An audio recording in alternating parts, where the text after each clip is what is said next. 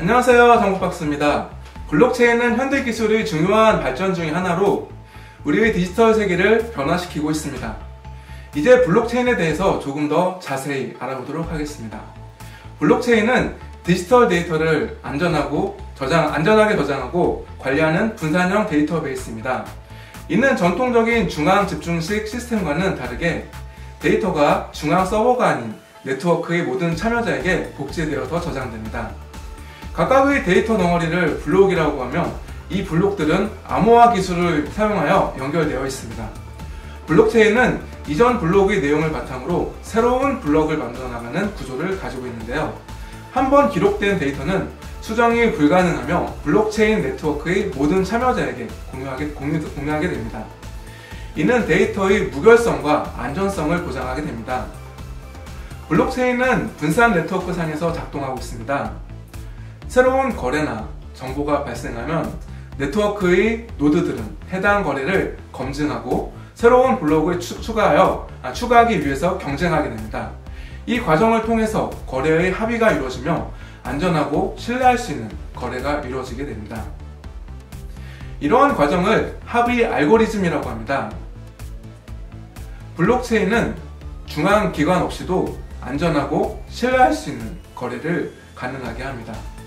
이는 은행이나 중앙 집권적 기관 없이도 자산을 교환하거나 계약을 체결할 수 있음을 의미합니다.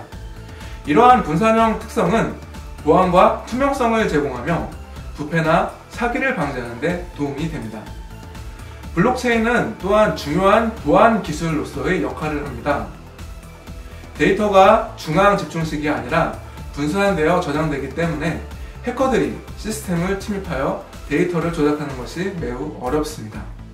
블록체인은 금융, 의료, 공급망, 부동산 등 다양한 분야에서 활용할 수 있습니다. 금융 분야에서는 블록체인을 사용하여 결제 시스템과 스마트 계약을 구현할 수 있고 의료 분야에서는 환자 기록 관리와 의료 공급망 추적에 블록체인을 적용하여 효율성을 향상시킬 수 있습니다. 하지만 블록체인에는 아직 해결되지 않은 과제들이 존재하고 있습니다. 현재 블록체인 네트워크는 트랜잭션 처리량이 제한되어 있고 개인정보 보호 문제가 있습니다. 또한 스마트 계약의 보안 문제도 여전히 존재하고 있습니다. 이러한 문제들을 해결하기 위해서 더 많은 연구와 개발이 필요합니다. 블록체인은 혁신적이고 획기적인 기술로서 미래의 디지털 세계를 리드하고 있습니다. 이제 여러분도 블록체인에 대한 기본 개념을 이해하셨습니다. 앞으로 블록체인이 더 많은 산업과 사회 혁명을 일으킬 것을 기대해 봅니다. 오늘 준비한 내용은 여기까지입니다.